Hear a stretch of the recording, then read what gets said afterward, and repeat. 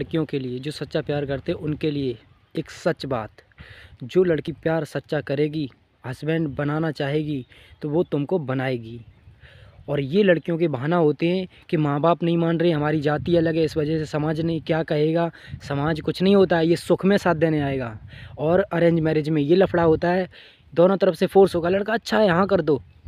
ये सोच लेना, बाद में अगर दुख होगा ना, तकलीफ़ होगी तो घर वाले, परिवार वाले यही कहेंगे कि तुम्हारे नसीब में यही था। कॉपरेट करो। समझे?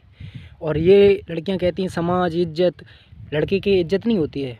लड़के के परिवार नहीं होता क्या? क्या नहीं होता लड़के के? बट लड़का अपने प्यार को चुनता है, ये कहता है, मर जाएँगे, बस शादी तो करेंगे तो अपने प्यार से करेंगे। लेकिन लड़कियाँ ही लास्ट में मुकरती हैं, ये बहाना होता है लड़कियों का, किसी और को पाने की चाहत में। बट ऐसा बहाना करके किसी लड़कों के से, ज़िंदगी से मत खेलो। प्लीज़, आपसे रिक्वेस्ट है, भगवान श्री कृष्ण ने भी कहा है, अगर सच्चा प्यार करते हो एक दूसरे से तो कोई गलत नहीं है प्यार अपनी मर्ज़ी से करना। ज़बरदस्ती चाहे जैसे करो, बट अपने प्यार को हासिल करो।